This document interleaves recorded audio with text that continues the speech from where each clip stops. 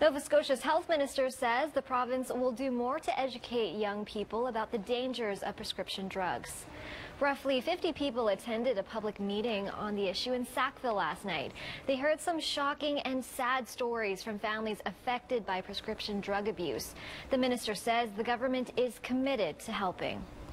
To come to a meeting and to hear from parents who have lost their child, uh, I, as a, as a, as a parent, and now as minister, cannot leave such a meeting without making a commitment uh, to work with the College of Physicians and Surgeons, uh, to work with Doctors Nova Scotia, uh, to make sure that these are prescribed in the right manner.